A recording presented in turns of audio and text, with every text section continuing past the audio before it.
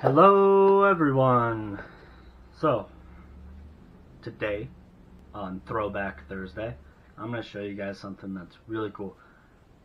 A real throwback. Um, so, what happened is, um, you know, on my vacation in Tennessee, we, me and the wife, one day that we had free from all the family stuff, went up into the Smoky Mountains and went on a little hike, looked at a cool waterfall, and had fun. And then on the way back down from there and back into town, uh, went through this little town about halfway from like our hotel to where we went up in the Smoky Mountains. There was a antique shop, and my wife was like, "Oh, stop." So we went in. She bought a bunch of like really cool old books, like from like 1910 and uh, 1930s, like really cool old books that were in good shape. She likes old books and stuff like that. Um, but as she was paying, I was standing there and I kind of looked at a counter that was right there and saw something that I was like, oh, that's really cool. But I was like, eh, I'm not going to buy it. Um, so we left, but then kind of looked it up on the internet and saw that it was very rare and very sought after. And I was like, well, okay. So the next day we went out there and I bought it. Um, so that is actually this.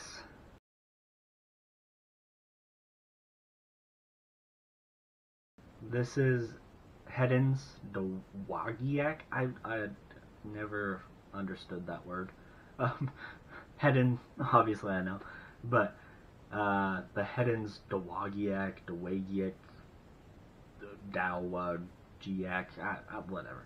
Uh, game fish minnow. And so this is actually just the box. And that was why originally I didn't buy it. Because I was like, ah, oh, it'd be so much cooler if the lure was in there, obviously.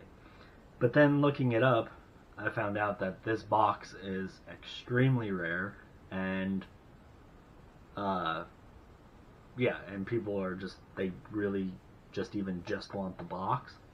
Not saying I'm to sell it or anything. Actually, this is just going to be like a decorative piece um, once I get a bigger area and more fishing stuff and whatever. I don't live here. Um, don't have room here. Uh, but in the future, it will be something that will go like in the man cave or whatever. Um, fishing room, you know, tackle room, whatever it ends up being. But so this is actually this bait was actually made, and I'm gonna try to find a picture of it. So if I did find a picture of the actual bait, you'll see it now.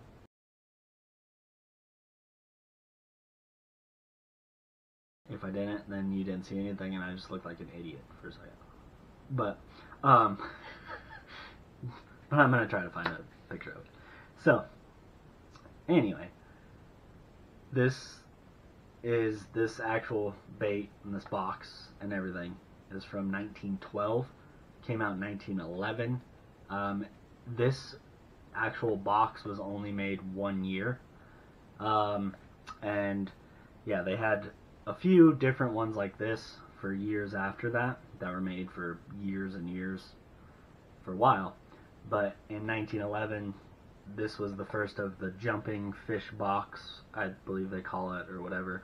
Um, and this one is different than the rest of them because it's got the skyline in the background. You can see the sky, and the fish is jumping to the left. The rest of the boxes are different. There's no sky back there with the trees and all that and the fish isn't jumping like that. It's totally different. So this is a very rare box that was only made for like a year, and then they changed it. So people are really that's why this box is like super rare, and people look for this box. Um, and personally, I just think it's cool. Uh, like I said, 1912, 1911 to 1912.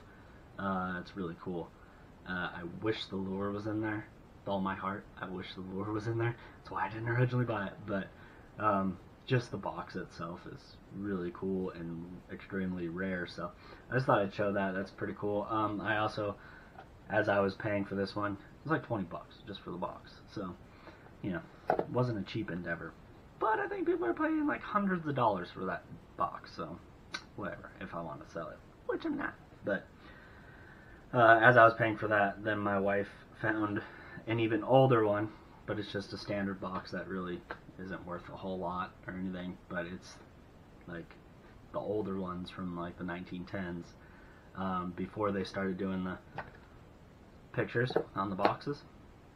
Uh, it's just the regular, you know, box. It does have the fish jumping right there. Actually, kind of the same fish style. But yeah, she just found this one and walked it up to me when I was paying for the one that I really wanted. And she's like, eh, check out this one. And I was like, I'm buying that one too. Whatever. so, no bait in this one either. Um, but really, like, who, uh, like, I'm sure these, whoever owned these, like, just think about who owned this originally. Like, of course, they were fishing it. Probably lost it somewhere. you know?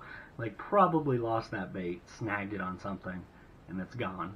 Um, but they, like, they took it out of the box and whatever, put it in their, you know, their tackle box or whatever they had at the time. They used it, and this box just got probably thrown somewhere, or they just thought it looked cool, so they might have, like, actually had it up somewhere in their garage or something, you know, or their barn or somewhere. You never know. Um, but that's pretty cool. But obviously, it's going to be really rare to find the lure. Um, but I wish it was there. Still, I just thought it was cool. Definitely something old, retro fishing. Um, that is just a cool little collector's piece to throw on the mantle. Same with this one too. Um, so I just thought I'd show those off. That was cool and talk about that box and why it's rare and that's why I decided to go back to get it. Um, but yeah, there you have it. So I'll see you guys on the next one.